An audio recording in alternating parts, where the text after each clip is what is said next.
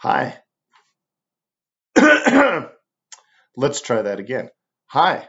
Uh, welcome to GRD 280 Portfolio. This class is going to be a lot of fun, but it will be a lot of hard work. Make sure you're setting aside 20 to 30 hours a week for this class. Mark them on your calendar. Set that side of time. Don't say that you might go to work during that time. Don't say that you might be available for a family thing during that time. Um, okay, that's all a lie. But you should set aside 20 to 30 hours. Remember, family comes first. Um, just be aware that you will need that time. Over the course of this portfolio class, you um, you're going to be spending a lot of time. There will be little or no new work. There's just not enough time. Um, in the first 12 weeks of class, you are going to be required to build out a business card that works for you so you can hand it out to people and get work or get into communication with people that interest you. A fully set resume. Again, you've probably already built these in other classes, but the resume is something that will give someone at one page, at a glance, to know everything that there is to know about you. We're going to build a print portfolio. It's going to require eight full campaigns, and a campaign is three or more related design pieces. So you are going to be talking about a minimum of 24 design pieces shown in there. Um, if you'd like, you can add a piece 9 or 10 if they are, say, uh, photographs or illustration, but they cannot work in your other pieces. Um, we will not be accepting any one-hit wonders in your portfolio. Everything must be three or more related design pieces. So be aware. Um, early on, we will be creating a contract where you you are going to tell me uh, what pieces are going to be in your portfolio. This stops you from having uh, seven t-shirt design campaigns and then one logo. Uh, so we'll be able to work out together. If you're unsure what items are going to be in your contract, come and talk with me. This will all be based off of the three folders and the PDFs that you show to me or you bring to class. We will look at your work. We will have an understanding of what your best pieces are and which pieces are going to show the broadest range of your design capabilities, and I will be honest with you. You're going to build out your portfolio in InDesign. You're going to have a nice PDF of that, and we may even make uh, print-ready PDFs, or uh, not print-ready PDFs. We will do that, uh, but print portfolio designs. We've done it in the past. We'll probably continue to do so. You will have to make a fully online portfolio. You will be looked down upon if you are using Behance.net or Adobe.portfolio. Um, free sites make you look bad. Um, do you want to be hired as someone who has a portfolio that is built on a free site? Maybe because it's just nice to get hired. Um, but you will make more money if you have a personal, professional website as opposed to a free website that somebody else is hosting.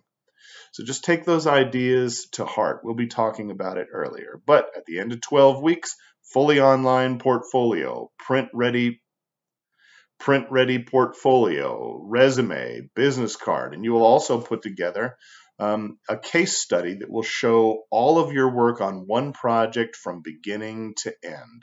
All of your sketches, all of your InDesign work, all of your in progress work, everything, so that someone can tell at a glance what you do and how you do it. So um, 30 hours a week is a lot of time. I want you looking at other portfolios. I want you practicing and trying along the way. This is a chance to really set up your future. Four-year schools don't get this chance. You do. So just kind of be aware that it will cost you money. It will be difficult to turn in two campaigns every single week between the middle sections of this course uh, right up until the end.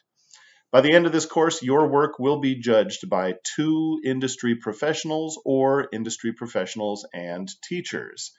um, just kind of be aware. They're not going to pull any punches. They will tell you if your work is done poorly. They will tell you if your work is not really meeting a base standard. On the other hand, they may like your work enough that they want to uh, show your work to their boss and you could get hired. So just understand that along the way, there are many opportunities in here. We will be showing um, job opportunities fairly regularly. In fact, there's probably one up now if you go look.